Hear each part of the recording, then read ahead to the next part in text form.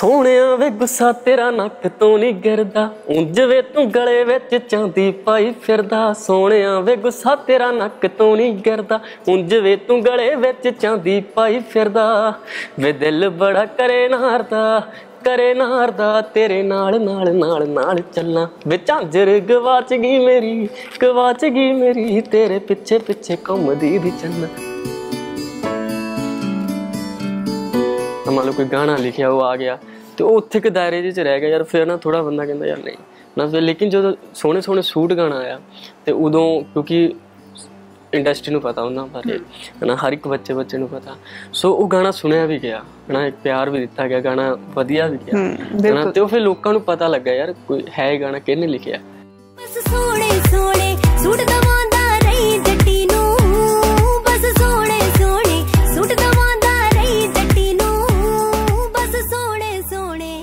ਤੇ ਉਹਨਾਂ ਦੀ ਆਵਾਜ਼ 'ਚ ਗਾਣਾ ਆ ਜਾਣਾ ਮੇਰੇ ਲਈ ਬਹੁਤ ਵੱਡੀ ਗੱਲ ਸੀ। ਹੂੰ। ਤੇ ਕਿਉਂਕਿ ਕੁਝ ਗਾਣੇ ਨਾ ਕਿਸੇ ਟਾਈਮ ਬਣ ਜਾਂਦੇ ਨੇ ਲੇਕਿਨ ਅੱਗੇ ਨਹੀਂ ਆਉਂਦੇ ਹਨਾ।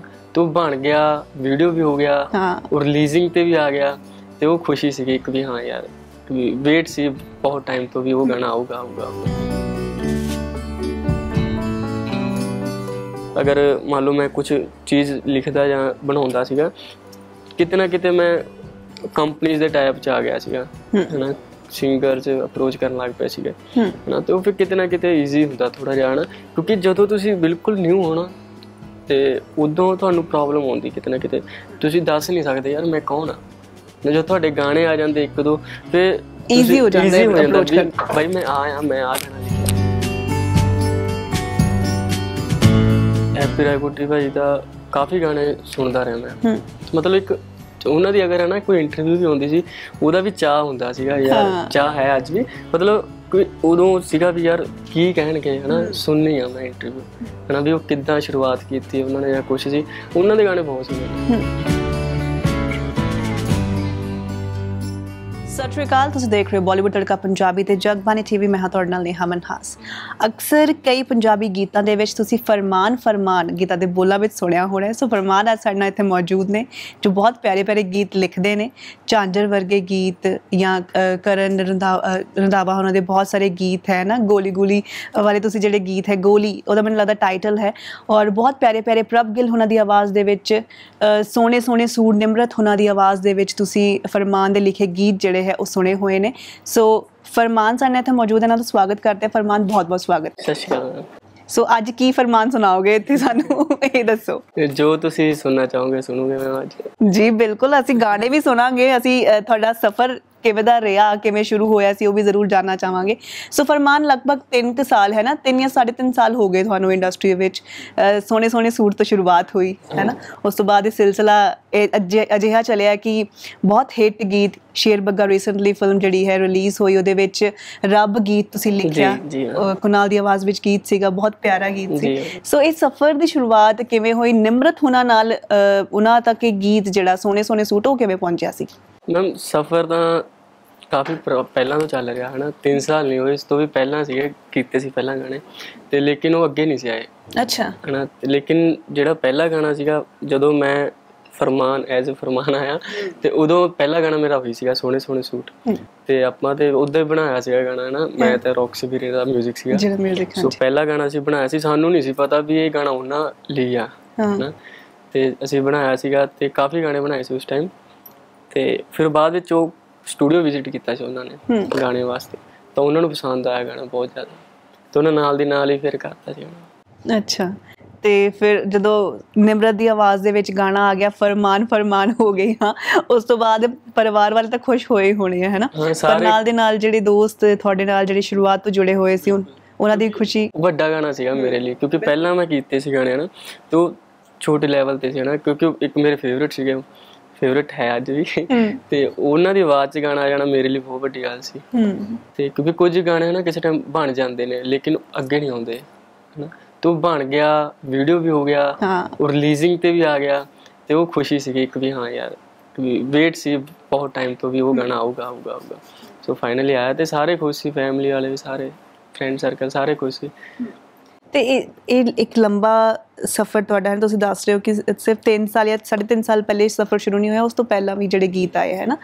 ਇਹ ਸਫ਼ਰ ਤੈਅ ਕਰਨ ਦੇ ਵਿੱਚ ਕੋਈ ਔਖ ਕੋਈ ਔਕੜਾਂ ਤੁਹਾਨੂੰ ਦੇਖਣੀਆਂ ਪਈਆਂ ਹਰ ਕਿਸੇ ਦੇ ਲਾਈਫ ਦੇ ਵਿੱਚ ਹੈ ਨਾ ਕੁਝ ਨਾ ਕੁਝ ਆਬਸਟੈਕਲਸ ਜਾਂ ਸਟਰਗਲ ਜਿਹੜਾ ਹੈ ਹੁੰਦਾ ਹੈ ਫੇਸ ਕਰਨਾ ਪੈਂਦਾ ਹੈ।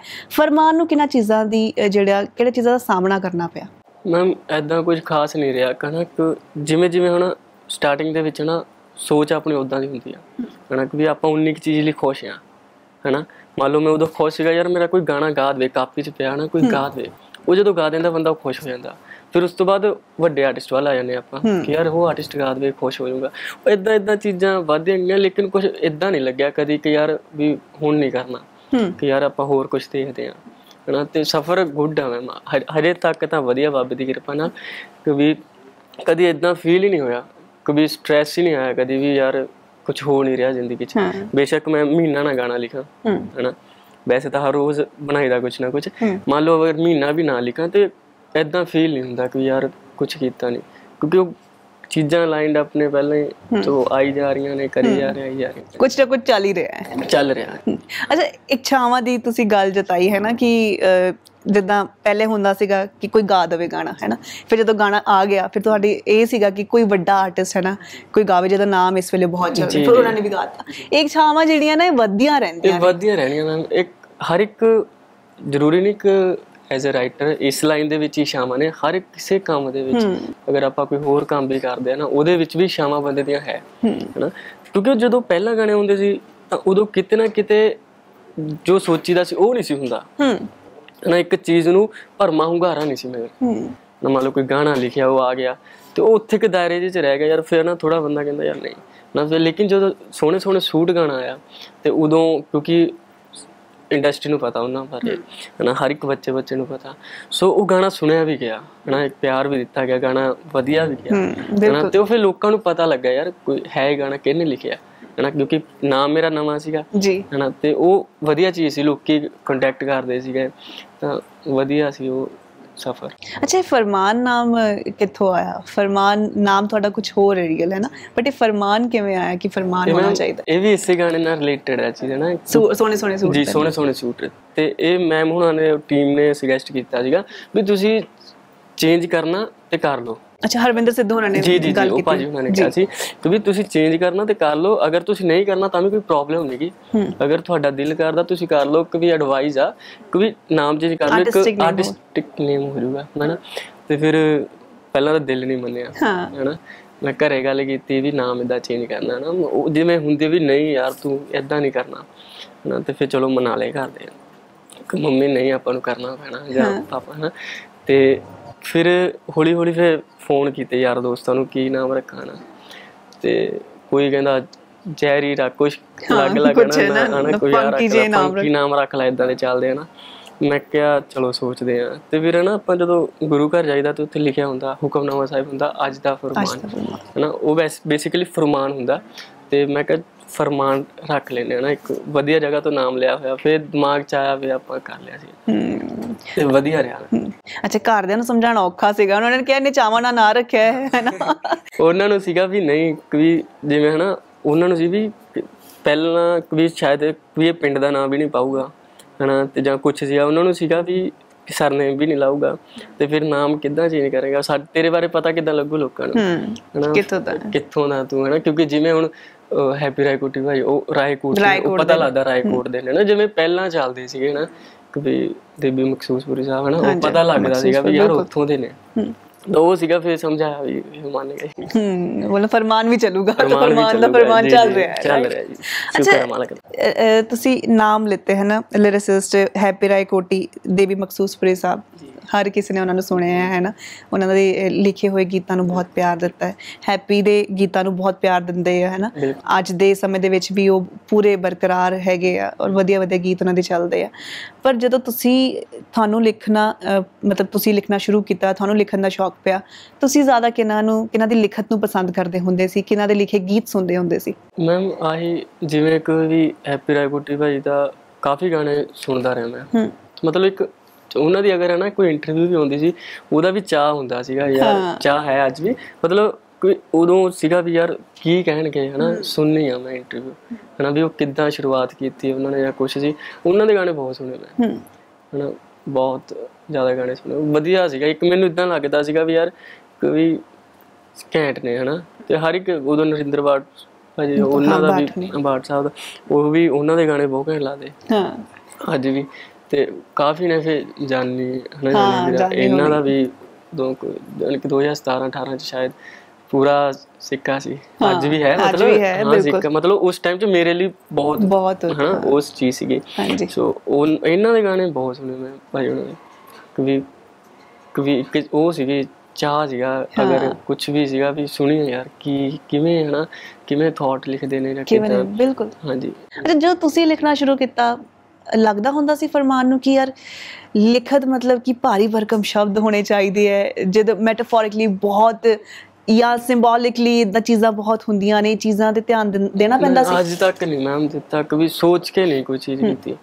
ਕਵੀ ਕਵੀ ਯਾਰ ਆ ਵਰਡ ਹੋਵੇ ਯਾਰ ਇੱਥੇ ਕੁਝ ਬਣਾਇਆ ਜਾਵੇ ਨਹੀਂ। ਕੋਈ ਕੁਦਰਤੀ ਚੀਜ਼ ਬਣਦੀ ਆ। ਹਨਾ ਕਿਉਂਕਿ ਆਪਾਂ ਅੱਜ ਕੱਲ ਦੇ ਜ਼ਮਾਨੇ 'ਚ ਜੇ ਤੁਸੀਂ ਜ਼ਿਆਦਾ ਸਿੰਪਲ ਲਿਖੋਗੇ ਜ਼ਿਆਦਾ ਸਮਝ ਆਉਣ ਵਾਲੀ ਚੀਜ਼ ਲਿਖੋਗੇ ਉਹ ਵਧੀਆ ਹੂੰ ਉਹ ਜ਼ਿਆਦਾ ਕਨੈਕਟ ਕਰਦੀ ਹੈ ਰਿਲੇਟ ਕਰੂਗਾ ਹਰ ਕੋਈ।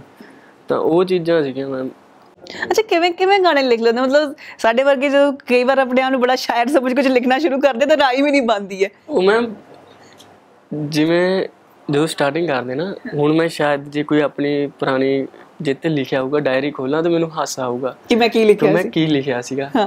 ਤੇ ਨਾ ਮੈਂ ਕੀ ਕਰ ਰਿਹਾ ਸੀਗਾ ਹਨਾ? ਲੇਕਿਨ ਉਹ ਵੀ ਗਾਣੇ ਮੈਂ ਸਿੰਗਰਾਂ ਕੋਲ ਲੈ ਕੇ ਜਾਂਦਾ ਸੀ। ਅੱਛਾ। ਹਾਂਜੀ ਉਹ ਵੀ ਗਾਣਾ ਨਾ ਮੈਂ ਇੱਕੋ ਵਾਰੀ ਗਿਆ ਸੀਗਾ ਕਿਸੇ ਕੋਲ ਤੇ ਉਹਨਾਂ ਦਾ ਸਿੱਧਾ ਗਿਆ ਸੀ। ਉਦੋਂ ਮੈਂ ਨਾ ਨਵੀਂ ਨਵੀਂ ਲਿਖਣਾ ਸ਼ੁਰੂ ਕੀਤੇ ਗਾਣੇ। ਪਲੱਸ 2 ਦੀ ਗੱਲ ਗੱਲ ਹੋਣੀ। ਤੇ ਮੈਂ ਐਦਾਂ ਨਹੀਂ ਸੀ ਲਿਖਦਾ ਹਨਾ ਪ੍ਰੋਪਰ ਹਨਾ ਫਾਈਲ ਬਣਾ ਲਈ ਇੱਕ। ਤਾਂ ਪ੍ਰਿੰਟ ਆਊਟ ਕਢਾ ਕੇ ਗਾਣਿਆਂ ਦੇ ਪੂਰੇ ਪੂਰੇ ਗਾਣੇ ਕਰਕੇ ਤਾਂ ਮੈਂ ਫਾਈਲ ਬਣਾਈ ਪ੍ਰੋਪਰ ਵੀ ਆਪਾਂ ਜਾਣਾ ਹਨਾ। ਤੇ ਮੈਂ ਗਿਆ ਤੇ ਉਹ ਕਹਿੰਦੇ ਠੀਕ ਆ ਹਣੇ ਤੂੰ ਲਿਖ ਸਕਦਾ। ਹਨਾ ਉਹ ਲਿਖ ਸਕਦਾ ਉਹ ਚੇਤੇ ਰਹਿ ਗਿਆ ਮੈਨੂੰ ਵੀ ਤੂੰ ਲਿਖ ਸਕਦਾ। ਹਨਾ ਬਾਕੀ ਚੀਜ਼ਾਂ ਮੈਂ ਭੁੱਲ ਗਿਆ ਵੀ ਮੈਨੂੰ ਅਫਸੋਸ ਬਿਲਕੁਲ ਵੀ ਨਹੀਂ ਸੀਗਾ ਵੀ ਯਾਰ ਗਾਣਾ ਨਹੀਂ ਲਿਆ ਉਹਨਾਂ ਨੇ ਜਾਂ ਕੁਝ ਲੇਕਿਨ ਉਹਨਾਂ ਨੇ ਜੋ ਕਿਹਾ ਨਾ ਤੂੰ ਲਿਖ ਸਕਦਾ। ਕੌਣ ਸੀ ਆਰਟਿਸਟ ਨਾਮ ਲੋਗੇ ਤੁਸੀਂ? ਨਾਮ ਚਲੋ ਰਹਿਣ ਦੋ। ਤੇ ਉਹਨਾਂ ਨੇ ਲੇਕਿਨ ਕਿਹਾ ਸੀ ਵੀ ਤੂੰ ਲਿਖ ਸਕਦਾ। ਇੱਕ ਇੱਕ ਲੈਸਨ ਦਿੱਤਾ ਹੈ ਨਾ? ਜਾਂ ਕਹਿ ਲਈ ਕਿ ਇੱਕ ਇੱਕ ਸਲਾਹ ਦਿੱਤੀ ਤੁਹਾਨੂੰ? ਤੇ ਫਿਰ ਉਹ ਉਹ ਚੀਜ਼ ਰਹਿ ਗਈ ਮਾਈਂਡ ਦੇ ਵਿੱਚ ਫਿਰ ਆਪਾਂ ਹੌਲੀ ਹੌਲੀ ਹਨਾ ਮੈਂ ਮੰਨ ਲਓ ਕੋਈ ਗਾਣਾ ਲਿਖਦਾ ਸੀ 10 ਦਿਨ ਬਾਅਦ ਮੈਂ ਖੁਦ ਰੀਡ ਆਊਟ ਕਰਦਾ ਇਹ ਤਾਂ ਪਤਾ ਲੱਗਦਾ ਯਾਰ ਕੱਚਾ ਕਿਤੇ ਹਨਾ ਕਿਸੇ ਕਮੀ ਹੈਗੀ ਹੈ ਮੈਚਿਓਰਿਟੀ ਮੈਚਿਓਰਿਟੀ ਕਿਉਂਕਿ ਕਮੀ ਸੀ ਉਹਦੀ starting ਦੇ ਵਿੱਚ ਹੁਣ ਤੁਸੀਂ ਕਿਹਾ ਵੀ ਮੈਂ ਅਗਰ ਕੋਈ ਲਿਖਣ ਚਾਹੇ ਸ਼ਾਇਰ ਬਣਦੇ ਨਾ ਹਨਾ ਉਹ ਨਹੀਂ ਲਿਖਿਆ ਜਾ ਰਿਹਾ ਰਾਈਮਿੰਗ ਨਹੀਂ ਬਣਦੀ।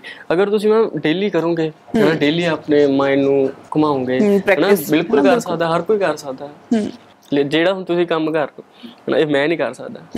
ਲੇਕਿਨ ਅੱਜ ਕੱਲ ਸਾਰੇ ਕਰਦੇ ਆ। ਲੇਕਿਨ ਤੁਹਾਨੂੰ ਲੱਗ ਰਿਹਾ ਵੀ ਹਨਾ ਕੋਈ ਇਹ ਚੀਜ਼ਾਂ ਨੇ। ਔਕਾਰ ਕੰਮ ਪ੍ਰੈਕਟਿਸ ਮੰਗਦਾ ਕੋਈ। ਪ੍ਰੈਕਟਿਸ ਹੈ ਨਾ? ਹਰ ਚੀਜ਼ ਪ੍ਰੈਕਟਿਸ ਮੰਗਦੀ ਹੈ। ਸੋ ਜਦੋਂ ਤੁਸੀਂ ਲਿਖਣਾ ਸ਼ੁਰੂ ਕੀਤਾ ਕਿਹਨਾਂ ਚੀਜ਼ਾਂ ਤੇ ਲਿਖਦੇ ਹੁੰਦੇ ਸੀ ਜ਼ਿਆਦਾ? ਕਿਹੜੀ ਚੀਜ਼ਾਂ ਦੀ ਆਬਜ਼ਰਵੇਸ਼ਨ ਜ਼ਿਆਦਾ ਰੱਖਦੇ ਸੀਗੇ? ਜਾਂ ਫਿਰ ਫਰਮਾਨ ਕੀ ਸੋਚਦੇ ਹੁੰਦੇ ਸੀ ਯਾਰ ਕਿ ਮੈਂ ਕਿਸੇ ਚੀਜ਼ ਦੀ ਅਗਰ ਖੂਬਸੂਰਤੀ ਦੀ ਗੱਲ ਕਰਨੀ ਹੈ ਜ਼ਰੂਰੀ ਨਹੀਂ ਕਿਸੇ ਕੁੜੀ ਦੀ ਹੈ ਨਾ? ਜਾਂ ਕਿਸੇ ਮੁੰਡੇ ਦੀ ਨੇਚਰ ਦੀ ਵੀ ਹੋ ਸਕਦੀ ਹੈ। ਕੀ ਟਾਈਮ ਚੂਜ਼ ਕਰਦੇ ਸੀ ਕਿ ਟਾਈਮ ਨੂੰ ਵੀ ਬੜਾ ਲੈ ਕੇ ਹੁੰਦਾ ਹੈ ਕਿ ਮੈਂ ਰਾਤ ਦਾ ਸਮੇਂ ਜਾਂ ਮੈਂ ਸਵੇਰੇ ਤੜਕੇ ਮੈਂ ਲਿਖਦਾ ਹੁੰਦਾ ਸੀ ਬੈਠ ਕੇ ਹੈ ਨਾ? ਨਹੀਂ ਮੈਮ ਜੋ ਸਟਾਰਟਿੰਗ ਟਾਈਮ ਦੀ ਗੱਲ ਕਰ ਰਹੇ ਹੋ ਨਾ ਨਹੀਂ ਮੈਮ ਇਦਾਂ ਦਾ ਕੁਝ ਨਹੀਂ ਰਿਹਾ ਕਦੇ ਵੀ ਕਿ ਯਾਰ ਆਹ ਟਾਈਮ ਮੇਰੇ ਲਈ ਬੈਸਟ ਆ ਮੈਂ ਇਸੇ ਟਾਈਮ 'ਚ ਲਿਖੂੰਗਾ। ਇਹ ਤੁਹਾਨੂੰ ਤੁਹਾਡੇ ਤੁਸੀਂ ਖੁਸ਼ ਹੋਣੇ ਬਹੁਤ ਜ਼ਰੂਰੀ ਹੋ। ਹੂੰ ਅੰਦਰੋਂ ਹੈ ਨਾ ਚਿੱਤ ਖੁਸ਼ ਹੋਣਾ ਚਾਹੀਦਾ। ਹਾਂ ਕਿਉਂਕਿ ਅਗਰ ਤੁਹਾਡਾ ਮਨ ਨਹੀਂ ਨਾ ਫੇਰ ਨਹੀਂ। ਕਿਉਂਕਿ ਅਗਰ ਤੁਸੀਂ ਬੇਸ਼ੱਕ ਇੱਥੇ ਬੈਠੇ ਹੋ ਅਗਰ ਤੁਸੀਂ ਖੁਸ਼ ਹੋ ਫਿਰ ਤੁਸੀਂ ਲਿਖ ਸਕਦੇ ਹੋ 10 ਮਿੰਟ ਦਾ ਟਾਈਮ ਮਿਲਿਆ ਤੁਸੀਂ ਕਰ ਸਕਦੇ ਹੋ। ਹਨਾ ਜੇ ਤੁਸੀਂ ਅੰਦਰੋਂ ਤੁਹਾਡਾ ਦਿਮਾਗ ਕਿਤੇ ਹੋਰ ਭੱਜ ਰਿਹਾ ਨਾ ਫੇਰ ਨਹੀਂ। ਬਾਈਕ ਤੇ ਜਾਂਦਾ ਜਾਂਦਾ ਮੈਂ ਗਾਣੇ ਬੋਲ ਕੇ। ਅੱਛਾ। ਹਾਂਜੀ ਉਹ ਗਾਣੇ ਉਹ ਇੱਕੋ ਵਾਈਬ Vibe ਜ਼ਰੂਰੀ ਹੈ। ਕੱਲਾਪਨ ਮੇਰੇ ਲਈ ਜ਼ਰੂਰੀ ਆ ਥੋੜਾ ਜਿਹਾ। ਮੈਂ ਕੱਲੇਪਨ ਚ ਵੀ ਲਿਖ ਲੈਣਾ ਗਾਣੇ।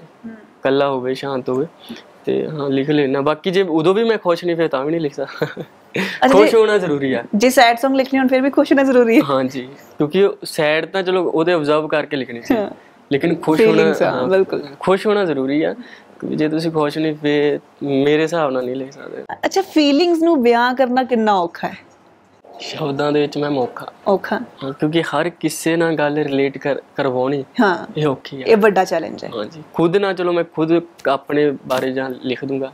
ਉਹ ਫਿਰ ਮੇਰੇ ਤੱਕ ਰਹਿ ਜਾਣੀ ਲੇਕਿਨ ਉਹ ਚੀਜ਼ ਲਿਖਣੀ ਵੀ ਹਰ ਕਿਸੇ ਲਈ ਹਨਾ ਹਰ ਕਿਸੇ ਨੂੰ ਲੱਗੇ ਯਾਰ ਇਹ ਤਾਂ ਮੇਰੀ ਗੱਲ ਹੋ ਰਹੀ ਆ। ਹਨਾ ਉਹ ਕਿਤੇ ਨਾ ਕਿਤੇ ਔਖੀ ਆ ਡਿਫਿਕਲਟ ਆ ਵਰਡਿੰਗ ਯੂਜ਼ ਕਰਨੀ ਉਹ ਕਿਤੇ ਨਾ ਕਿਤੇ ਪ੍ਰੈਕਟਿਸ ਜੀ। ਹਾਂ ਇੱਕ ਇੱਕ ਟੀਨੇਜ ਬॉय ਜਦੋਂ ਸੋਚਦਾ ਹੈ ਕਿ ਮੈਂ ਗਾਉਣਾ ਹੈ ਹੈਨਾ ਪਰ ਗਾਉਣ ਦੇ ਵਿੱਚ ਸਮਹਾਉ ਨਹੀਂ ਕੰਮ ਬੰਦਾ ਫਿਰ ਉਹ ਲਿਖਣਾ ਸ਼ੁਰੂ ਕਰ ਦਿੰਦਾ ਹੈ।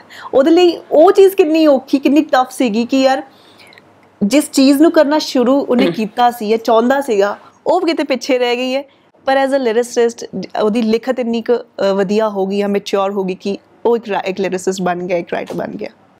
ਆਈ ਥਿੰਕ ਮੈਂ ਕਾਫੀ ਜਾਣਿਆਂ ਨੇ ਇਦਾਂ ਹੀ ਹੁੰਦਾ ਕਿ ਵੀ ਸ਼ਾਇਦ ਬਹੁਤ ਸਾਰੇ ਰਾਈਟਰ ਨੇ ਜਿਹੜੇ ਪਹਿਲਾਂ ਕਿਉਂਕਿ ਹਰ ਕੋਈ ਸ਼ੁਰੂ ਕਰਦਾ ਨਾ ਗਾਇਕੀ ਤੋਂ ਹੂੰ ਨਾ ਮੈਂ ਵੀ ਸਕੂਲੇ ਗਾਇਆ ਪਹਿਲਾਂ ਗਾਉਂਦਾ ਰਿਹਾ ਮੇਰਾ ਸ਼ੌਂਕ ਗਾਉਣ ਦਾ ਸੀਗਾ ਲਿਖਣ ਦਾ ਨਹੀਂ ਸੀ ਫਿਰ ਹੌਲੀ ਹੌਲੀ ਇੱਕ ਦੋ ਗਾਣੇ ਲਿਖੇ ਹਨਾ ਉਹ ਸੁਣਾਏ ਕਲਾਸ ਕਲੂਸ ਚ ਨਾ ਕਿਦਾਂ ਹਨਾ ਉਹ ਘੈਂਟ ਆ ਵੀ ਤੂੰ ਲਿਖ ਏਦਾਂ ਉਹਦਾ ਉਹ ਫਿਰ ਹੌਲੀ ਹੌਲੀ ਫਿਰ ਲਿਖਣ ਵੱਲ ਹੋ ਗਿਆ ਫਿਰ ਕਿਉਂਕਿ ਮੈਂ ਉਹ ਉਸ ਟਾਈਮ ਵੀ ਅੱਜ ਵੀ ਕਹਿ ਲਈਏ ਥੋੜਾ ਕੰਮ ਮਹਿੰਗਾ ਹੂੰ ਹੂੰ ਗਾਇਕੀ ਵਾਲਾ ਹਨਾ? ਇੱਕ ਵੀ ਵੀਡੀਓ ਚਾਹੀਦੀ ਪ੍ਰੋਮੋਸ਼ਨ ਚਾਹੀਦੀ ਸਟਾਰਟਿੰਗ ਡੇਜ਼ ਦੇ ਵਿੱਚ ਦੇ ਹਨਾ ਔਖਾ ਵੀ ਸਭ ਕੁਝ ਚਾਹੀਦਾ। ਆਪਣੇ ਆਪ ਨੂੰ ਪ੍ਰਮੋਟ ਕਰਨਾ ਔਖਾ। ਹਾਂਜੀ ਕਿਉਂਕਿ ਉਹ ਨਹੀਂ ਹੁੰਦਾ ਮੈਮ ਇੰਨਾ ਕੁਛ ਹੈ ਨਾ ਹੂੰ। ਤੇ ਅੱਜ ਵੀ ਅਗਰ ਕੋਈ ਫਰੈਸ਼ਰ ਜਾਂ ਕੁਝ ਕਰੇ ਟਰਾਈ ਤਾਂ ਉਹਨੂੰ ਪਤਾ ਵੀ ਇੰਨੇ ਪੈਸੇ ਲੱਗਣੇ ਆ।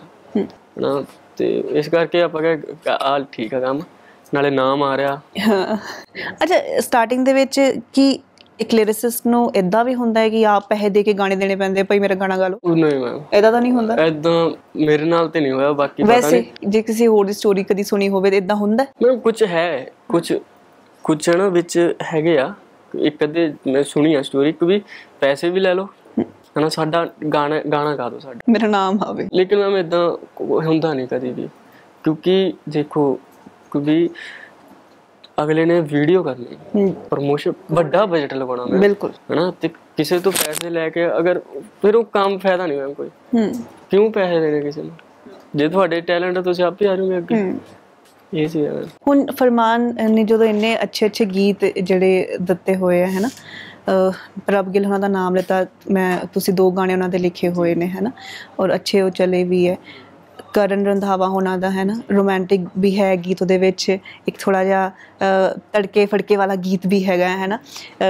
ਰਵਨੀਤ ਦੀ ਗੱਲ ਕਰੀਏ ਚਾਂਜਰ ਗੀਤ ਹੈ ਨਾ? ਆਪਾਂ ਜ਼ਿਕਰ ਕਰ ਰਹੇ ਸੀਗੇ ਇੰਨਾ ਪਿਆਰਾ ਗੀਤ ਹੈ। ਔਰ ਰਵਨੀਤ ਨੇ ਅਸੀਂ ਕਿਉਂਕਿ ਜਦੋਂ ਇਹ ਸ਼ੂਟ ਕਰ ਰਹੇ ਸੀ ਰਵਨੀਤ ਅਸੀਂ ਗਏ ਸੀ ਉਹਨਾਂ ਦੇ. ਸ਼ੂਟ ਤੇ। ਸੋ ਉਹਨਾਂ ਨੇ ਤੁਹਾਡਾ ਜ਼ਿਕਰ ਕੀਤਾ ਸੀ ਕਿ ਫਰਮਾਨ ਨੇ ਬਹੁਤ ਸੋਹਣਾ ਗੀਤ ਵਧੀਆ ਲਿਖਿਆ। ਬੰਦੇ ਨੇ ਮਤਲਬ ਵਧੀਆ ਪਿਆਰ ਆਪਣੇ ਹਾਂ। ਤੇ ਉਹ ਉਹ ਜਿਹੜਾ ਝਾਂਜਰ ਗੀਤ ਹੈ ਇਹ ਵੀ ਬਹੁਤ ਵਧੀਆ ਹੈ ਨਾ? ਬਟ ਫਰਮਾਨ ਲਈ ਟਰਨਿੰਗ ਪੁਆਇੰਟ ਕਿਹੜਾ ਸੀਗਾ? ਉਹਨਾਂ ਦੇ ਕੈਰੀਅਰ ਦੇ ਵਿੱਚ ਸੋਹਣੇ ਸੋਹਣੇ ਸੂਟ ਸੀਗਾ ਜਾਂ ਜਦੋਂ ਉਹਨਾਂ ਨੇ ਅੱਗੇ ਹੋਰ ਆਰਟਿਸਟਾਂ ਨਾਲ ਜਿਹੜੇ ਕੰਮ ਕੀਤੇ ਆ ਉਹਦੇ ਵਿੱਚ ਤੁਹਾਨੂੰ ਲੱਗਦਾ ਕਿ ਹੋਰ ਕੋਈ ਪ੍ਰੋਜੈਕਟ ਸੀ ਟਰਨਿੰਗ ਪੁਆਇੰਟ ਕੈਰੀਅਰ ਦਾ? ਮੈਮ ਉਦੋਂ ਮੇਰਾ ਸੋਹਣੇ ਸੋਹਣੇ ਸੂਟ ਤੋਂ ਸ਼ੁਰੂ ਹੋਇਆ ਸੀ ਹੂੰ। ਸਿਲਸਿਲਾ ਹਨਾ? ਤੇ ਇਹ ਤਾਂ ਚੱਲਦਾ ਹੀ ਰਹਿਣਾ ਮੈਮ ਸ਼ੁਰੂ ਹਜੇ ਵੀ ਅੱਜ ਵੀ ਸ਼ੁਰੂਆਤ ਹੀ ਆ। ਤੇ ਉਦੋਂ ਇਦਾਂ ਸੀਗਾ ਕੋਈ ਸੋਹਣੇ ਸੋਹਣੇ ਸੂਟ ਆਇਆ। ਉਸ ਦੇ 10 ਦਿਨ ਬਾਅਦ ਹੀ ਹੋਸ਼ ਗਾਣਾ ਆਇਆ ਸੀ ਨਿੱਕ ਬਾਈ ਦਾ ਹਨਾ?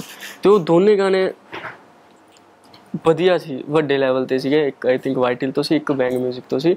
ਵਧੀਆ ਪ੍ਰੋਮੋਸ਼ਨ ਸੀ ਵਧੀਆ ਆਰਟਿਸਟ ਸੀਗੇ। ਤਾਂ ਉਹ ਲੋਕਾਂ ਨੂੰ ਪਤਾ ਲੱਗਿਆ ਸੀ ਕੌਣ ਫਰਮਾਨਾ ਨਾ ਮੇਰੇ ਲਈ ਉਹ ਟਰਨਿੰਗ ਪੁਆਇੰਟ ਸੀਗਾ ਇੱਕ। ਹਨਾ? ਵੀ ਅਗਰ ਮੰਨ ਲਓ ਮੈਂ ਕੁਝ ਚੀਜ਼ ਲਿਖਦਾ ਜਾਂ ਬਣਾਉਂਦਾ ਸੀਗਾ ਕਿਤੇ ਨਾ ਕਿਤੇ ਮੈਂ ਕੰਪਨੀਆਂ ਦੇ ਟਾਈਪ ਚ ਆ ਗਿਆ ਸੀਗਾ। ਹਨਾ? ਸਿੰਗਰ ਚ ਅਪਰੋਚ ਕਰਨ ਲੱਗ ਪਿਆ ਸੀਗਾ। ਹਨਾ ਤੇ ਉਹ ਫਿਰ ਕਿਤੇ ਨਾ ਕਿਤੇ ਈਜ਼ੀ ਹੁੰਦਾ ਥੋੜਾ ਜਿਹਾ ਹਨਾ। ਕਿਉਂਕਿ ਜਦੋਂ ਤੁਸੀਂ ਬਿਲਕੁਲ ਨਿਊ ਹੋਣਾ ਤੇ ਉਦੋਂ ਤੁਹਾਨੂੰ ਪ੍ਰੋਬਲਮ ਆਉਂਦੀ ਕਿਤੇ ਨਾ ਕਿਤੇ। ਤੁਸੀਂ ਦੱਸ ਨਹੀਂ ਸਕਦੇ ਯਾਰ ਮੈਂ ਕੌਣ ਆ? ਜਦੋਂ ਤੁਹਾਡੇ ਗਾਣੇ ਆ ਜਾਂਦੇ ਇੱਕ ਦੋ ਫਿਰ Easy ਹੋ ਜਾਂਦਾ ਹੋ approach ਵੀ ਭਾਈ ਮੈਂ ਆ ਆ ਮੈਂ ਆ ਗਾਣਾ ਲਿਖਿਆ। ਹਨਾ ਫਿਰ ਉਹ ਥੋੜਾ ਜਿਹਾ ਤੁਹਾਨੂੰ ਸੀਰੀਅਸ ਲੈਂਦਾ ਬੰਦਾ। ਹੂੰ। ਨਹੀਂ ਤਾਂ ਉਹ ਫਰੈਸ਼ਰ ਸਮਝ ਕੇ ਕੋਈ ਬੰਦਾ ਠੀਕ ਆ ਠੀਕ ਆ ਵੀਰੇ। ਕੋਈ ਨਾ ਦੇਖਦੇ ਹਾਂ ਦੇਖਦੇ ਹੈਨਾ? ਆ ਦੇਖਦੇ ਹਾਂ ਨੈਚੁਰਲ ਜੀ ਆ। ਕਲੂਲੈਸ ਸੀ ਕਿ ਜਦੋਂ ਇਸ ਇੰਡਸਟਰੀ ਵਿੱਚ ਆਏ ਕਿ ਪਹਿਲੇ ਕਿੱਥੇ ਜਾਵਾਂ ਕਿਹਨੂੰ ਮਿਲੂੰਗਾ ਇਸ ਸ਼ਹਿਰ ਦੇ ਵਿੱਚ ਹੈ ਨਾ ਮੋਹਾਲੀ ਕਹਿ ਲਈਏ ਚੰਡੀਗੜ੍ਹ ਕਹਿ ਲਈਏ ਹੈ ਨਾ ਗੜ ਹੈ ਹੁਣ ਹਰ ਗਾਇਕ ਦਾ। ਪਹਿਲਾਂ ਜਲੰਧਰ ਹੁੰਦਾ ਸੀ ਹੈ ਨਾ ਜਲੰਧਰ ਹੁੰਦਾ ਸੀ, ਪਰ ਹੁਣ ਉਹ ਬਣ ਚੁੱਕਾ ਹੈ ਉੱਥੇ ਇੰਡਸਟਰੀ ਸਾਰੀ ਬਸੀ ਹੋਈ ਹੈ। ਉਸ ਵੇਲੇ ਕਲੂਲੈਸ ਸੀਗੇ ਜਾਂ ਪਤਾ ਸੀ ਕਿ ਮੈਂ ਕਿੱਥੇ ਜਾਣਾ ਮੇਰਾ ਪਹਿਲਾ ਸਟੈਪ ਕੀ ਹੋਣ ਵਾਲਾ ਹੈ ਮੇਰਾ ਦੂਸਰਾ ਸਟੈਪ ਕੀ ਹੋਣ ਵਾਲਾ ਹੈ। ਇਹ ਸਾਰਾ ਕੁਝ ਪਰਮਾਤਮਾ ਨੇ ਪਲਾਨ ਕੀਤਾ ਹੋਇਆ। ਹੈ ਸਭ ਕੁਝ ਵੀ ਤੁਸੀਂ ਕੀ ਕਰਨਾ ਅਗਰ ਆਪਾਂ ਜਿੱਥੇ ਬੈਠੇ ਆ ਤੇ ਪਲਾਨ ਸੀਗਾ ਪਹਿਲਾਂ ਹੀ। ਹਨਾ? ਕਿ ਬਸ ਘਰੋਂ ਨਿਕਲਣਾ ਜ਼ਰੂਰੀ ਆ। ਹੂੰ। ਤੁਸੀਂ ਹਨਾ ਆਪਣੀ ਸ਼ੁਰੂਆਤ ਵਾਸਤੇ ਇੱਕ ਵਾਰੀ ਘਰੋਂ ਤੁਸੀਂ ਨਿਕਲ ਪੈਂਦੇ ਹੋ ਨਾ ਤੁਹਾਡੇ ਚ ਤੁਸੀਂ ਵਿਸ਼ਵਾਸ ਰੱਖਦੇ ਹੋ ਖੁਦ ਤੇ। ਫਿਰ ਤੁਸੀਂ ਕਿਤੇ ਨਾ ਕਿਤੇ ਪਹੁੰਚ ਜਾਓਗੇ। ਮੈਂ ਜਦੋਂ ਮਹਾਲੀ ਗਿਆ ਸੀ ਮੈਂ ਮੈਨੂੰ ਕੋਈ ਨਹੀਂ ਸੀ ਜਾਣਦਾ। ਹੂੰ। ਹਨਾ? ਨਾ ਮੇਰਾ ਕੋਈ ਗਾਣਾ ਆਇਆ ਸੀਗਾ। ਹਾਂ ਬਿਲਕੁਲ। ਹਨਾ? ਕੁਝ ਵੀ ਨਹੀਂ ਸੀਗਾ। ਤੇ ਉਦੋਂ ਇਦਾਂ ਸੀਗਾ ਮੈਂ ਤੇ ਮੇਰਾ ਦੋਸਤ ਸਾਬੀ ਅਸੀਂ ਇਕੱਠੇ ਜੋ ਅੱਜ ਵੀ ਨਾਲ ਆਏ। ਨੇ। ਹਾਂਜੀ ਅੱਜ ਵੀ ਨਾਲੇ ਨਾਲ ਹੀ ਆ। ਤੇ ਪਹਿਲਾਂ ਵੀ ਨਾਲ ਸੀ ਜਦੋਂ ਮੈਂ ਪਹਿਲੀ ਵਾਰ ਮੈਂ ਕਿਸੇ ਨੂੰ ਮਿਲਣ ਗਿਆ ਸੀ ਨਾ ਵੀ ਅੱਛਾ ਗਾਣੇ ਦੇਣ। ਗਾਣੇ ਦੇਣ ਲਈ। ਤੇ ਉਦੋਂ ਵੀਰਾ ਨਾਲ ਹੀ ਸੀ। ਅੱਛਾ। ਅਰੇ ਮੇਬੀ ਕਾਫੀ ਸਾਲ ਹੋ ਗਏ ਨਾਲ ਹੀ ਆ ਬਾਈ। ਅੱਛਾ ਉਹ ਬਸ ਇੱਕ ਦੂਸਰੇ ਦਾ ਸਹਾਰਾ ਸੀ ਕਿ ਹਾਂ ਗਏ ਆ ਤੇ ਕੁਝ ਕੁਝ ਕਰਾਂਗੇ ਕਰਾਂਗੇ ਕਿਉਂਕਿ ਤੁਹਾਨੂੰ ਸਪੋਰਟ ਮਿਲਣੀ ਬਹੁਤ ਜ਼ਰੂਰੀ ਆ। ਹੁਣ ਅਗਰ ਤੁਸੀਂ ਕੁਝ ਕਰ ਰਹੇ ਹੋ ਨਾਲ ਤੁਹਾਡਾ ਸਪੋਰਟ ਇੱਕ ਇਹ ਮੈਂ ਮੰਨਦਾ ਵੀ ਵਧੀਆ ਸਪੋਰਟ ਰਹੀ ਮੈਨੂੰ। ਕਿ ਮੰਨ ਲਓ ਕਿਤੇ ਮੈਂ ਥੋੜਾ ਜਿਹਾ ਕਿਤੇ ਯਾਰ ਡਗਮਡਾ ਹਨਾ ਕਰ ਗਿਆ ਯਾਰ ਵੀਰੇ ਯਾਰ ਕਿਦਾਂ ਹਨਾ। ਤੇ ਉਹ ਬਾਈ ਕਹਿੰਦਾ ਨਹੀਂ ਕੋਈ ਨਾ ਯਾਰ ਕਰਾਂਗੇ। ਵੀ ਐਦਾਂ ਕਰ। ਹੂੰ। ਐਦਾਂ ਨਹੀਂ ਐਦਾਂ ਕਰ। ਉਹ ਇੱਕ ਦੂਜੇ ਦੀ ਸਲਾਹ ਨਾਲ ਵੀ ਅਸੀਂ ਕਰਦੇ ਗਏ ਅਸੀਂ ਉਦਾਂ ਹੀ ਜਾ ਕੇ ਰਹਿਣ ਲੱਗ ਪਏ ਹਨਾ? ਤੇ ਇੱਕ ਵਾਰੀ ਭੱਜ ਵੀ ਆਇਆ ਕਹਿੰਦਾ ਵੀਰੇ ਮੈਂ ਰਹਿਣਾ। ਤੇ ਮੈਂ ਕਿਹਾ ਚੱਲ ਕੋਈ ਨਾ ਫਿਰ ਮੈਂ ਵੀ ਚੱਲ ਗਿਆ ਮੈਂ ਪਹਿਲਾਂ ਵੀ ਗਿਆ ਮੈਂ ਮੋਹਾਲੀ। ਹੁਣ ਤਾਂ ਚਲੋ ਪਰਮਾਨੈਂਟ ਉੱਥੇ। ਉੱਥੇ ਰਹਿੰਦੇ ਹੋ। ਪਹਿਲਾਂ ਵੀ ਗਿਆ ਸੀਗਾ ਉਦੋਂ ਤਾਂ ਥੋੜੇ ਧੱਕੇ ਧੁੱਕੇ ਖਾਦੇ ਤੇ ਬਾਈ ਫੇ ਆ ਗਏ ਬਾਈ ਕਹਿੰਦਾ ਯਾਰ ਕੋਈ ਨਾ ਕਰਦੇ ਆ। ਤੇ ਮੈਂ ਵੀ ਆ ਗਿਆ। ਫਿਰ ਜਦੋਂ ਬਾਅਦ ਵਿੱਚ ਗਿਆ ਸੀਗਾ ਫਿਰ ਮੈਂ ਰੌਕਸੀ ਵੀਰੇ ਨੂੰ ਮਿਲਿਆ ਸੀ ਉੱਥੇ ਅੱਛਾ ਰੌਕਸੀ Roxy, 뮤직 ਹਾਂਜੀ 뮤직 ਡਾਇਰੈਕਟਰ ਨੇ ਉਹਨਾਂ ਨੂੰ ਮਿਲਿਆ ਸੀ ਮੈਂ ਬਾਈ ਦੇ ਘਰ ਹੀ ਰਹਿੰਦਾ ਹੁੰਦਾ ਸੀ ਫਲੈਟ ਬਾਈ ਦੇ ਤਾਂ ਆਪਾਂ ਉਦੋਂ ਗਾਣੇ ਬਣਾਏ ਸੀਗੇ ਸੋਹਣੇ ਸੋਹਣੇ ਸੂਟ ਹੋਸ਼ ਹੋਰ ਵੀ ਬਹੁਤ ਗਾਣੇ ਬਣਾਏ ਸੀ ਹਜੇ ਆਉਣਗੇ ਹੂੰ ਹਾਂਜੀ ਤੇ ਉਹ ਬਾਈ ਨੇ ਵੀ ਵਧੀਆ ਸਪੋਰਟ ਕੀਤੀ 뮤직 ਇਸ ਤੋਂ ਇਸ ਤੋਂ ਪਹਿਲਾਂ ਕਿ ਹੋਰ ਮੈਂ ਨਾ ਤੁਹਾਡੇ ਗੀਤਾਂ ਦੀ ਗੱਲਾਂ ਕਰਾਂ ਹੋਰ ਜਿਹੜੇ ਗੀਤ ਆਏ ਆ ਅਹ, ਕਿਉਂਕਿ ਤੁਸੀਂ ਗਾਉਣਾ ਸ਼ੁਰੂਆਤ ਤੋਂ ਚਾਹੁੰਦੇ ਸੀ ਕਿ ਗਾਉਣਾ ਹੈ ਨਾ? ਤੇ ਪਰ ਐਜ਼ ਅ ਲਿਰਿਸਿਸਟ ਤੁਸੀਂ ਅੱਗੇ ਆਏ ਹੋ। ਬਟ ਮੈਂ ਚਾਹੂੰਗੀ ਕਿ ਝਾਂਜਰ ਗੀਤ ਤੁਸੀਂ ਦੋ ਬੋਲ ਗ- ਸੁਣਾਓ। ਸੋਹਣਿਆ ਵੇ ਗੁੱਸਾ ਤੇਰਾ ਨੱਕ ਤੋਂ ਨਹੀਂ ਗਿਰਦਾ ਉਂਝ ਵੇ ਤੂੰ ਗਲੇ ਵਿੱਚ ਚਾਂਦੀ ਪਾਈ ਫਿਰਦਾ। ਸੋਹਣਿਆ ਵੇ ਗੁੱਸਾ ਤੇਰਾ ਨੱਕ ਤੋਂ ਨਹੀਂ ਗਿਰਦਾ ਉਂਝ ਵੇ ਤੂੰ ਗਲੇ ਵਿੱਚ ਚਾਂਦੀ ਪਾਈ ਫਿਰਦਾ। ਵੇ ਦਿਲ ਬੜਾ ਕਰੇ ਨਾਰਦਾ ਕਰੇ ਨਾਰਦਾ ਤੇਰੇ ਨਾਲ ਨਾਲ ਨਾਲ ਨਾਲ ਚੱਲਾਂ। ਵੇ ਝਾਂਜਰ ਗਵਾਚ ਗਈ ਮੇਰੀ ਗਵਾਚ ਗਈ ਮੇਰੀ ਤੇਰੇ ਪਿੱਛੇ ਪਿੱਛੇ ਘੁੰਮਦੀ ਦੀ ਚੱਲਾਂ। ਵੇ ਝਾਂਜਰ ਗਵਾਚ ਗਈ ਮੇਰੀ ਗਵਾਚ ਗਈ ਮੇਰੀ ਤੇਰੇ ਪਿੱਛੇ ਪਿੱਛੇ ਘੁੰਮਦੀ ਦੀ ਚੱਲਾਂ। ਇਹ ਸੀ ਗਾਣਾ। ਸੋ ਇਹ ਆਪਣੇ ਤਾਂ ਨਹੀਂ ਲਿਖੇ ਤੁਸੀਂ- ਚਾਂਦੀ ਪਾਈ ਹੋਈ ਹੈ ਗੱਲ ਦੇ ਵਿੱਚ? ਨਹੀਂ ਨਹੀਂ ਏਦਾਂ ਦਾ ਨਹੀਂ। ਕੁਝ ਗੱਲਾਂ ਆਪਣੇ ਨਾਲ ਹੁੰਦੀਆਂ ਰਿਲੇਟ ਕਰ ਨਾ ਲੈਂਦੇ ਹਾਂ। ਕਿਉਂਕਿ ਏਦਾਂ ਹੀ ਆ ਮੈਮ ਏਦਾਂ ਹੀ ਗਾਣੇ ਬਣਦੇ। ਕੁਝ ਗੱਲਾਂ ਰਿਲੇਟੇਬਲ ਹੁੰਦੀਆਂ ਨੇ। ਕਿਉਂਕਿ ਚਾਂਦੀ ਮੈਂ ਪਾਈ ਆ ਤੇ ਆਈ ਥਿੰਕ ਕਾਫੀ ਜਾਣੇ ਪਾਉਂਦੇ ਆ। ਹਰ ਕੋਈ ਪਾਉਂਦਾ ਨਾ ਰਿਲੇਟ ਕਰੂਗਾ ਰਿਲੇਟ ਕਰਦੇ ਹਾਂ। ਇਹ ਏਦਾਂ ਹੀ ਆ ਥੋੜਾ ਜਿਹਾ ਸਿਸਟਮ ਤੁਹਾ- ਤੁਹਾਡਾ ਇੱਕ ਹੋਰ ਗਾਣਾ ਲਿਖਿਆ ਬੜਾ ਫੇਮਸ ਹੋਇਆ ਮੇਰਾ ਤਾਂ ਮੈਜਿਕ ਦੀ ਆਵਾਜ਼ ਦੇ ਵਿੱਚ ਸੀਗਾ ਜੋ ਨਰੋਲਾ ਫੈਮਿਲੀ ਹੈ ਨਾ? ਉਹਨਾਂ ਦੀ ਮਤਲਬ ਕਿਸੇ ਵਿਆਹ ਸੀ ਅੰਗੇਜਮੈਂਟ ਸੀਗੀ ਹੈ ਨਾ? ਉੱਥੇ ਉਹ ਉਹ ਚੱਲਿਆ। ਉਹ ਗਾਣਾ ਬਹੁਤ ਵਾਇਰਲ ਹੋਇਆ ਸੀਗਾ। ਉਹ ਗਾਣਾ ਸੀਗਾ ਅੰਮੀ ਨੇ ਅੰਮੀਆਂ ਨਹੀਂ ਅੰਮੀਆਂ। ਹਾਂ। ਮੁੰਡਾ ਲੱਖਾਂ ਵਿੱਚ ਚੁਣੀ ਫਿਰਦੀ ਉਹ ਗਾਣਾ ਬਹੁਤ ਸੋਹਣਾ ਸੀ। ਵਧੀਆ ਲੋਕਾਂ ਨੇ ਬਹੁਤ ਪਿਆਰ ਕੀਤਾ ਉਸ ਗਾਣੇ ਨੂੰ। ਉਹ ਆਪਾਂ ਸੁਣ ਸਕਦੇ ਹਾਂ? ਦੋ ਬੋਲ। ਜੇ ਤੋਂ ਗਾਇਆ ਨਹੀਂ ਜਾਣਾ ਮੈਜਿਕ ਉਹ ਥੋੜਾ ਥੋੜਾ ਜਿਹਾ ਥੋੜਾ ਜਿਹਾ ਸੁਣਾ ਦਿਓ ਤੁਸੀਂ। ਨਾ ਸਿਆਣੀਆਂ ਸਿਆ ਵਿੱਚੋਂ ਸੁਣਾ ਰਿਹਾ ਹਾਂ ਹਾਂਜੀ। ਸਿਆਣੀਆਂ ਸਿਆਣੀਆਂ ਸਿਆਣੀਆਂ ਗੱਲਾਂ ਬਹੁਤ ਕਰਦਾ ਸਿਆਣੀਆਂ।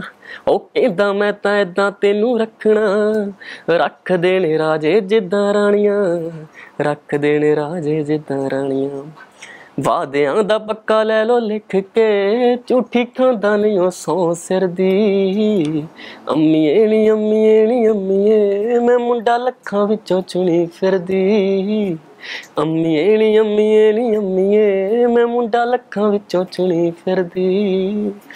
ਗਾਉਣ ਵਾਲਾ ਸਿਸਟਮ ਹੁਣ ਛੱਡਤਾ ਛੱਡਤਾ। ਮੈਂ ਮੈਂ ਪੁੱਛਣ ਲੱਗੀ ਸੀ ਰਿਆਜ਼ ਕਰਦੇ ਹੋ ਹਜੇ ਵੀ? ਨਹੀਂ ਮੈਂ ਹਜੇ ਥੋੜਾ ਛੱਡਿਆ ਹੋਇਆ। ਛੱਡਿਆ ਹੋਇਆ ਲੇਕਿਨ ਸ਼ੁਰੂ ਕਰਾਂਗੇ ਪ੍ਰੋਪਰ ਇੱਕ ਵਾਰੀ।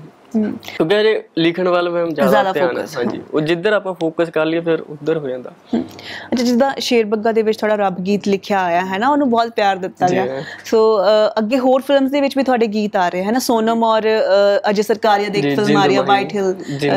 ਦੇ ਜਿਹੜੇ ਹੈ ਨਾ ਬੈਨਰ ਹੇਠ ਆ ਰਹੀ ਹੈ। ਸੋ ਉਹ- ਉਹਦੇ ਵਿੱਚ ਵੀ ਹੋਰ ਕਿਹੜੇ ਕਿਹੜੇ ਪ੍ਰੋਜੈਕਟਸ ਦੇ ਵਿੱਚ ਆ ਰਹੇ ਹੈ? ਇੱਕ ਤਾਂ ਸ਼ੇਰ ਬੱਗਾ ਵਿੱਚ ਉਹਦੇ ਵਿੱਚ ਤੁਸੀਂ ਸੁਣ ਲਿਆ ਨਾ ਫਿਰ ਜਿੰਦ ਮਾਹੀ ਮੂਵੀ ਆ? ਜੀ ਸੋਨਮ ਔਰ ਤਿੰਨ ਚਾਰ ਹੋਰ ਮੂਵੀਜ਼ ਨੇ ਜਿਨ੍ਹਾਂ ਦੇ ਵਿੱਚ ਡਨ ਆ ਸਭ ਕੁਝ ਹਾਂਜੀ।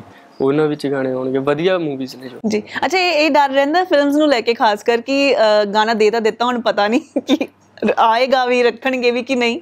ਜਾਂ ਪੰਜਾਬ ਦੇ ਵਿੱਚ ਇਹ ਚੀਜ਼ ਘੱਟ ਹੈ? ਨਹੀਂ ਹੈ ਮੈਮ ਕਿਤੇ ਨਾ ਕਿਤੇ ਡਰ ਹੁੰਦਾ। ਕਿਉਂਕਿ ਮੈਮ ਟੀਮਾਂ ਵੱਡੀਆਂ ਨੇ ਨਾ। ਕਿਉਂਕਿ ਹਰ ਕਿਸੇ ਦੀ ਹਰ ਕੋਈ ਹਰ ਕਿਸੇ ਦੀ ਸਲਾਹ ਨਾਲ ਚੱਲਦਾ। ਹਨਾ? ਕੋਈ ਕਿਸੇ ਨੂੰ ਕਹਿੰਦਾ ਵੀਰੇ ਆ ਨਹੀਂ ਗਾਣਾ ਯਾਰ ਆਪਾਂ ਆ ਰੱਖ ਲੈਨੇ ਹਨਾ ਉਹ ਕਿਸੇ ਬੰਦੇ ਮਾਈਂਡ 'ਚ ਕਿਤੇ ਜਦ ਤੱਕ ਰਿਲੀਜ਼ਿੰਗ ਨਹੀਂ ਹੁੰਦੀ ਮੈਮ ਉਦੋਂ ਤੱਕ ਕੁਝ ਨਹੀਂ ਪਤਾ ਕੀ ਹੋ ਜਾਣਾ। ਕਿਉਂਕਿ ਟੀਮਾਂ ਵੱਡੀਆਂ ਨੇ ਮੈਮ ਬਜਟ ਵੱਡੇ ਨੇ ਫਿਲਮਾਂ ਦੇ ਹਨਾ ਅਗਲੇ ਸੋਚਦੇ ਆ ਯਾਰ ਆ ਚੀਜ਼ ਰੱਖੀਏ ਨਾ ਰੱਖੀਏ ਕਰੀਏ ਜਾਂ ਨਾ ਕਰੀਏ ਕਿਉਂਕਿ ਆਪਸ਼ਨਸ ਬਹੁਤ ਨੇ ਨਾ। ਕਿਉਂਕਿ ਅਗਰ ਮੈਂ ਗਾਣਾ ਦਿੱਤਾ ਮੇਰੇ ਵਰਗੇ 40 50 ਜਣੇ ਹੋਰ ਦੇ ਰਹੇ ਗਾਣਾ।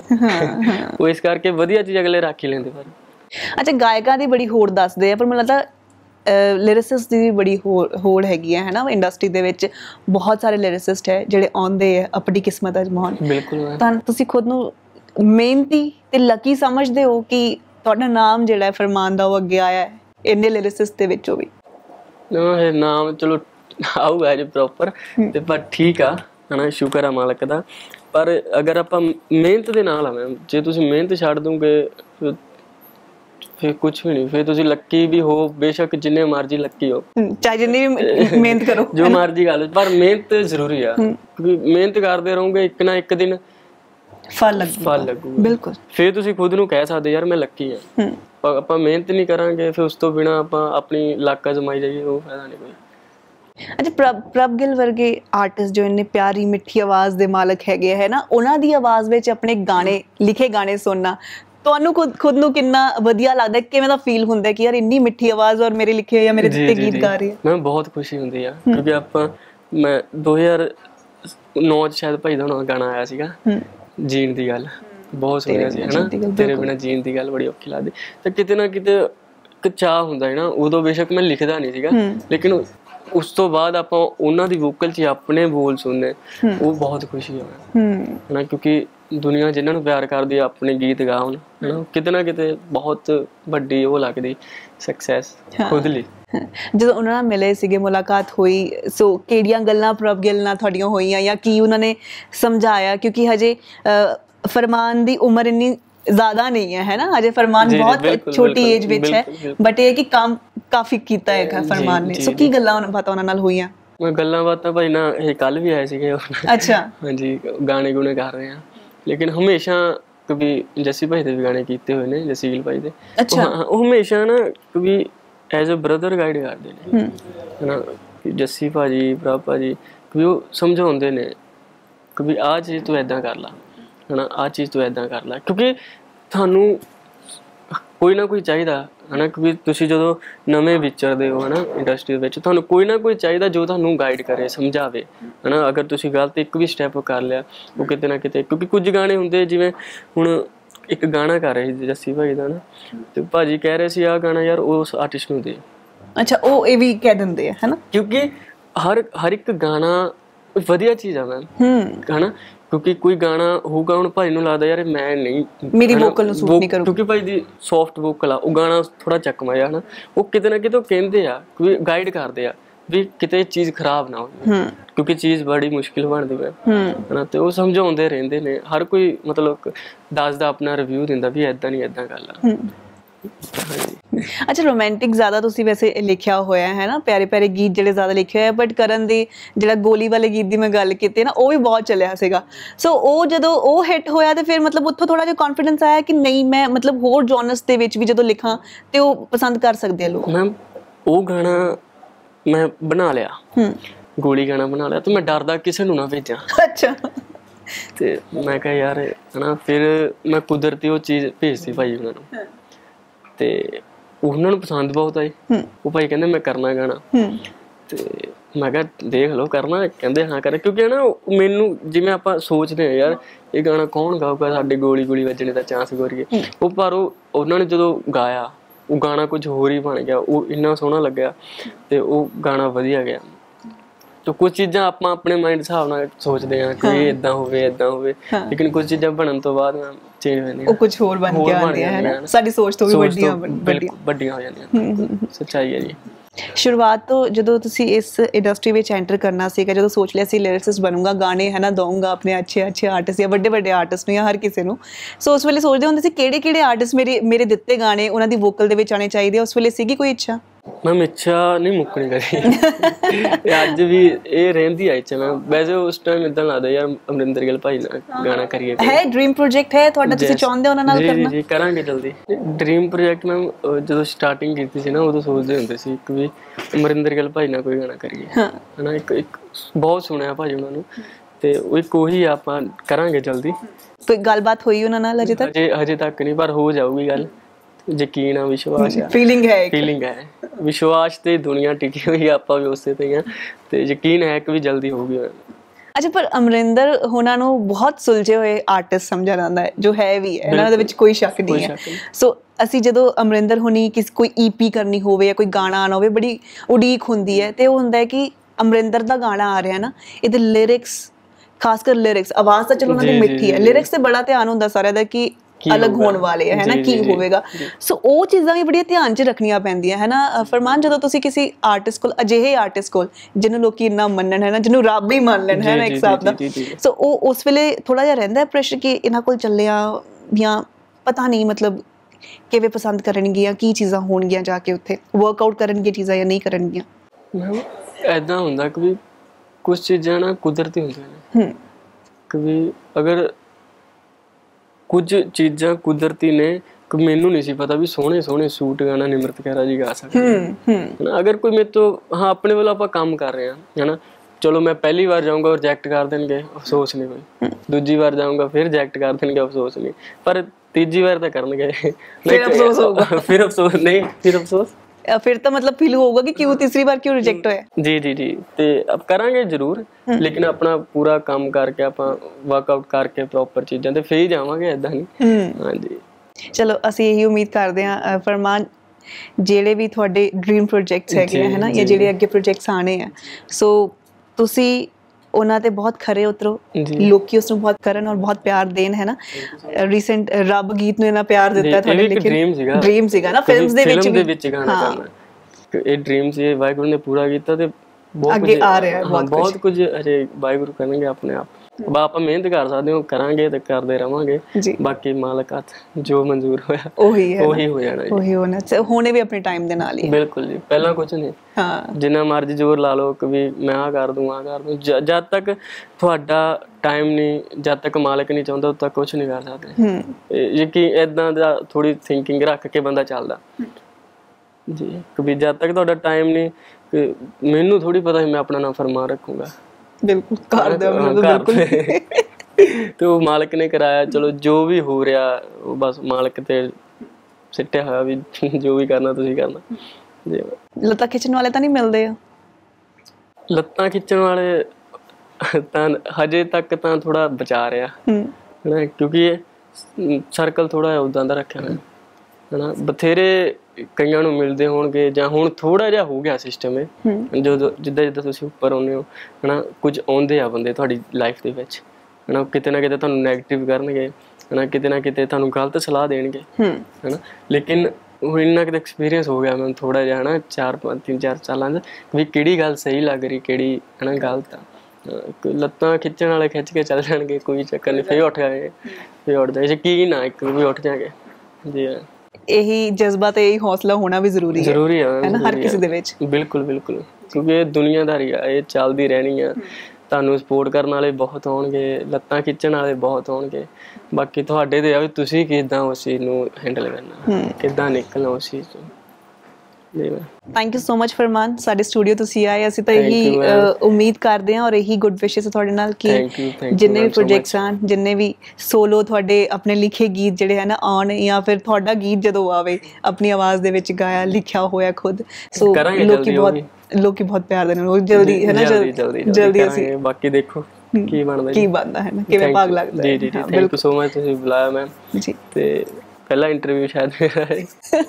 ਨਹੀਂ ਬਹੁਤ ਵਧੀਆ। ਜੀ। ਇਹ ਇਹ ਪ੍ਰੈਕਟਿਸ ਹੁੰਦੀ ਹੈ ਨਾ ਜਦੋਂ ਲਿਖਣ ਦੀ ਪ੍ਰੈਕਟਿਸ ਹੁੰਦੀ ਹੈ ਇੰਟਰਵਿਊਜ਼ ਵੀ ਪ੍ਰੈਕਟਿਸ ਹੈ। ਜੀ ਜੀ। ਹੁਣ ਮੈਂ ਹੁਣ ਇੰਟਰਵਿਊ ਸ਼ੁਰੂ ਕਰ ਦੇਣੀ ਆ ਮੈਂ ਇਹ practice matches ਚੱਲ ਰਹੇ। ਪ੍ਰੈਕਟਿਸ ਕਰਨੀ ਬਹੁਤ ਜ਼ਿਆਦਾ। ਹੁਣ ਇਹ ਨਹੀਂ ਪਤਾ ਹੁਣ ਕਿੱਦਾਂ ਹੋਈ ਹੋਣੀ ਇੰਟਰਵਿਊ ਪਰ ਪ੍ਰੈਕਟਿਸ ਕਰਨੀ ਹੋ ਨਹੀਂ ਬਹੁਤ ਵਧੀਆ ਗੱਲਾਂ ਕੀਤੀਆਂ ਉਮੀਦ ਕਰਦੇ ਹਾਂ ਆਉਣ ਵਾਲਾ ਸਮਾਂ. ਤੁਹਾਡੇ ਲਈ ਬਹੁਤ ਵਧੀਆ ਹੋਵੇ। Thank you so much so ਇਸ ਇਨਸਾਨ ਨਾਲ ਫਰਮਾਨ ਔਰ ਇਸ ਵਾਰ ਫਰਮਾਨ ਨਾਲ ਗੱਲਬਾਤ ਅਸੀਂ ਕੀਤੀ ਤੁਹਾਨੂੰ ਕਿਵੇਂ ਦੀ ਲੱਗੀ? ਔਰ ਫਰਮਾਨ ਦੇ ਕਿਹੜੇ ਗੀਤ ਤੁਹਾਨੂੰ ਪਸੰਦ ਹੈ ਕਿਉਂਕਿ ਤੁਸੀਂ ਸੁਣੇ ਜ਼ਰੂਰ ਹੈ ਫਰਮਾਨ ਦਾ ਨਾਮ ਜ਼ਰੂਰ ਸੁਣਿਆ। ਸੋ ਸਾਨੂੰ ਕਮੈਂਟ ਬਾਕਸ ਵਿੱਚ ਜ਼ਰੂਰ ਦੱਸਿਓ ਐਂਡ ਅਗਲੀ ਵਾਰ ਕਿਸੇ ਹੋਰ ਆਰਟਿਸਟ ਦੇ ਨਾਲ ਤੁਹਾਡੀ ਮੁਲਾਕਾਤ ਕਰਾਵਾਂਗੇ ਤੁਹਾਡੇ ਮੁਖਾਤਬ ਕਰਾਵਾਂਗੇ ਪਰ ਫਿਲਹਾਲ ਅੱਜ ਦੇ ਲਈ ਇੰਨਾ ਹੀ। ਅਗਲੀ ਵਾਰ ਮਿਲਦੇ ਹਾਂ। ਸਤਿ ਸ਼੍ਰੀ ਅਕਾਲ।